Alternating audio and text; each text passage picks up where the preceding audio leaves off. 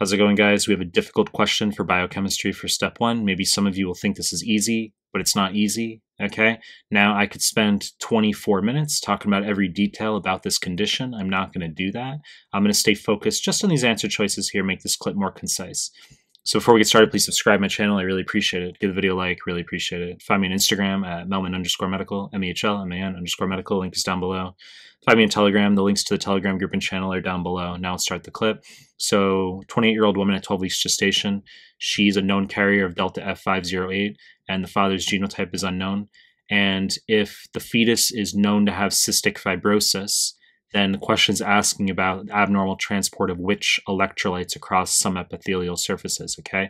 The father need not have delta F508 mutation. This is most common, but there's allelic heterogeneity. A myriad of mutations can lead to, lead to disease.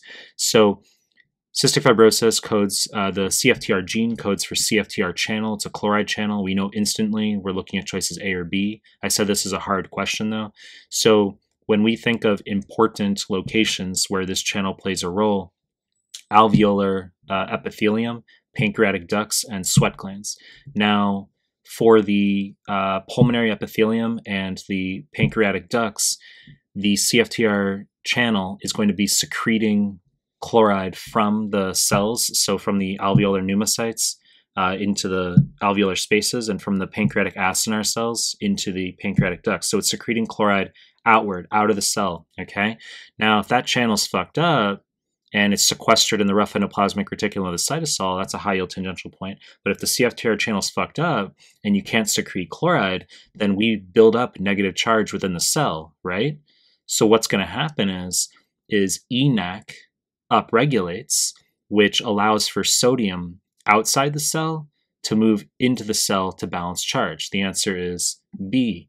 Now you say, well, that's a really fucking weird detail. Can you explain, like, is there any uh, significance to that? Okay, this is going to make sense. So, as I just fucking said, if the chloride builds up in the cell because CFTR channel is not working, ENaC upregulates, so sodium, which is positively charged, can move into the cell to balance, then water follows sodium.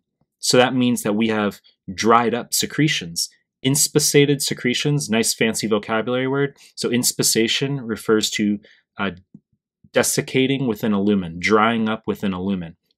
So the reason we get sticky, thick uh, pulmonary secretions in cystic fibrosis, the reason we get pancreatic exocrine insufficiency is because the secretions are dried up, they're inspissated. It's because the water is following this, the water from the lumen or from the alveolar spaces is following the sodium into the cell to balance the charge because the chloride can't move out of the cell.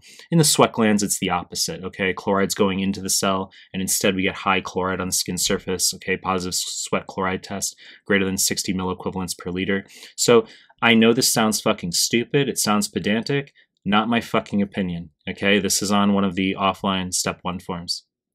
You know the deal, I'm gonna continue to make more content. If you like my stuff, subscribe my channel, and I appreciate your time. That's it.